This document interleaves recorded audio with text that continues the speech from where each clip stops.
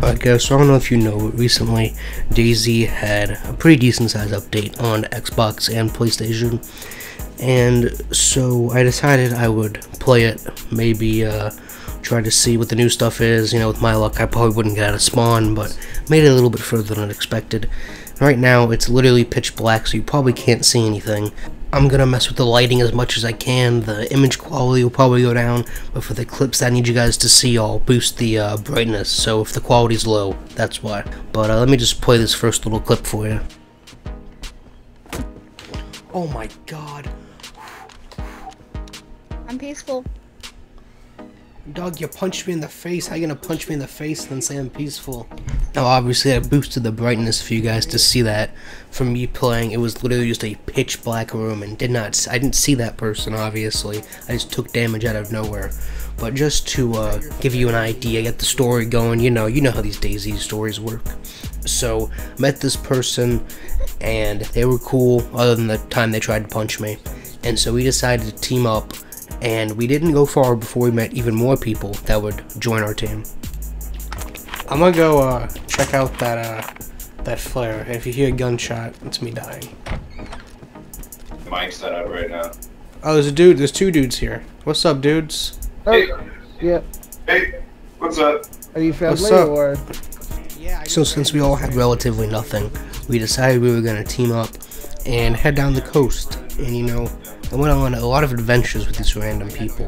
We did we did a lot of good things. I mean, we drank water and refilled our water bottles together.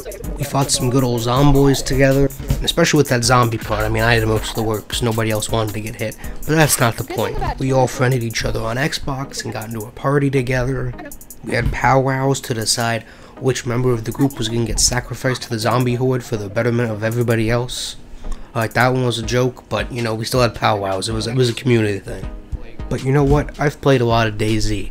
I've been betrayed a lot of times, so I couldn't help thinking, you know, times like these when we all stand in our circle deciding what we're gonna do. I have four shells in my shotgun.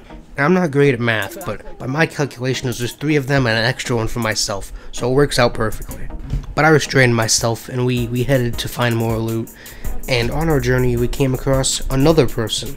And I don't know about you, but I was on a low population server, and this is the most people I have ever found on a low population server. I mean, I was just finding people left and right. It was freaking ridiculous. By the way, this is a stream, and that was some lag you just saw, but that was a sick ass transition, so I'm keeping it in. But uh, how you doing, dude? How you doing? Just enjoying this fucking awesome update. And this was another one of those times, so I was really counting the shells. I mean, you know, none of them have ammo in any of their guns. My aim isn't great, and by not great, I mean like stormtrooper level accuracy here. And um, but you know, I have an extra shell. Can't kill myself anymore, but that's fine. I could totally take them. Is what I'm thinking. This whole time, I'm like, I could totally take these guys. But then, then one the new guy, he antagonizes me even more to absolutely dome him. Hold on, I'm gonna put on my new helmet.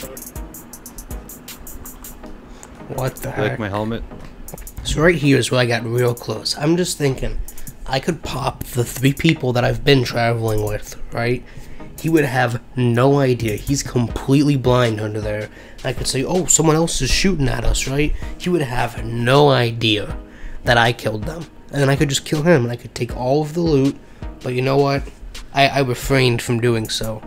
To be honest, I kind of regret it because it just got even worse. And so we continue to go on looting, leaving the new guy we found. And for some reason, I don't know why, but they decide to keep giving me more and more ammo. It's like they wanted me to kill them. And I was so close to doing it. And honestly, I wish I had. I would have had loot. I could have I could have gone the other way. Could have could have still still been moving. But then uh then this happened. I, I might have seen somebody cross left in front of us. Oh my god. Find us. Find us.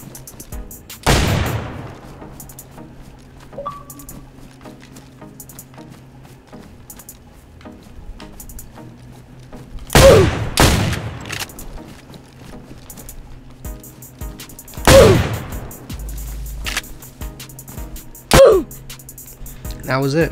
That's uh, that's how it ended. So moral of the story is kill everyone early, take their loot early, and uh, every man for himself. See you on the next one.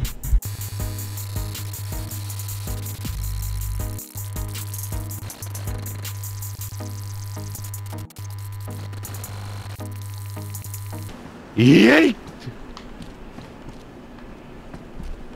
My god, where'd it go? Oh, okay, it's right here.